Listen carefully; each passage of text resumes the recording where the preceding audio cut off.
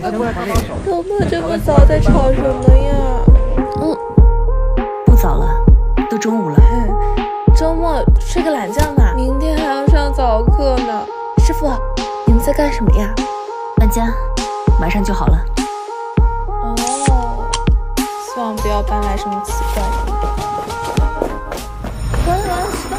我是你们大学新学期的我英语老师，也是你的新邻居。又睡懒觉了？迟到呢，就去罚站吧。